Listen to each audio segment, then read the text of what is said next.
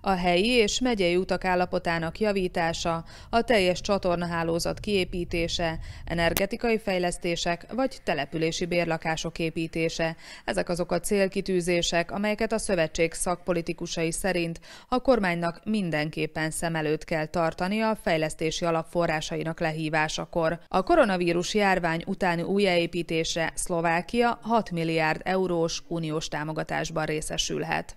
Ez egy olyan reformcsomag tervezet, amelyet masszív beruházásokkal támogatnak a hattérből, hogyha szamszerűsíteni akarjuk az egészet, akkor körülbelül Szlovákia 5,5 millió lakosa.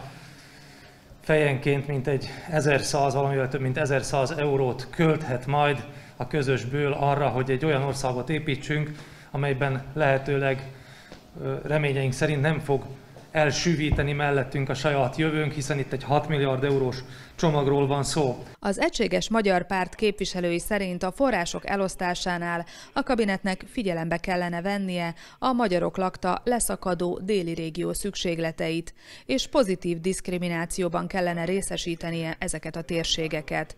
Sajtótájékoztatójukon felhívták a kormány figyelmét. Fontos, hogy a támogatási összegek oda kerüljenek, ahol arra a legnagyobb szükség van. Kívánatos lenne, hogy valóban ehhez mértelen legyenek a célok megfogalmazva, és a következő évek folyamán kivitelezve, nem pedig a következő időszak kihívásainak eleget téve, hanem a régmúlt időből ide hozzánk ugye csöppent múlt adó, adósságai lennének rendezve ebből az alapból, mert hiszen alapvetően ezt a célt szolgálja az újjáépítési alap. Farkas Iván szerint célkitűzéseik megegyeznek a szlovákiai városok és falvak társulásának elvárásaival.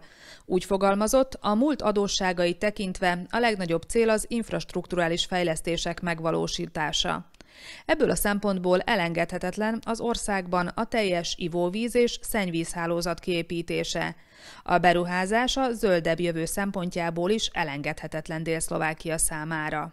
A célunk az, hogy olyan környezetet alakítsanak ki, gazdasági, lakási, iskolai, egészségügyi, stb. infrastruktúrális környezetet, hogy onnan ne kell elmenni, illetve amit itt elhangzott ez a kérdés, vissza lehessen menni.